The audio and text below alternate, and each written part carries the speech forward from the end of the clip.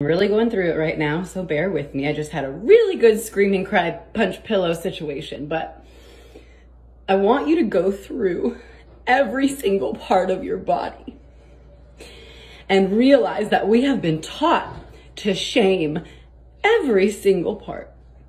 Your hair, your eyebrows, your eyelashes, your nose, your teeth, your lips, your chin, your breasts, your stomach, your legs, your thighs, your butt, our skin, every fucking part of our body down to the tiny little hairs that are on our eyes that are for, you know, fucking seeing. We have been taught to shame. The reason we have been taught to shame those things is one, it keeps women facing the mirror instead of facing the fucking world. It keeps us so insecure that we don't speak up. And third, and the fucking worst of all, money.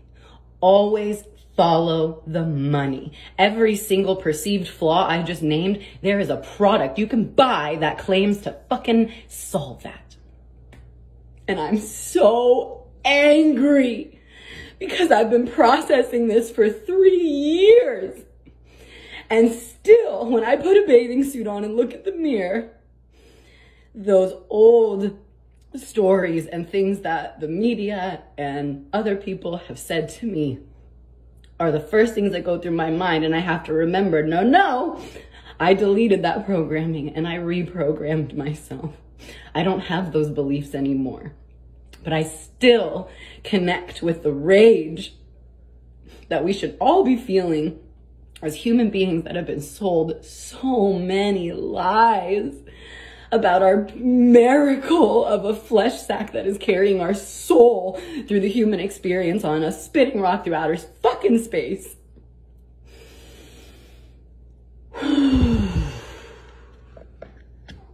In this moment, I am safe and I am loved, and my flesh sack is perfect for the functionality of moving through this world as a human. And I am thankful. Period.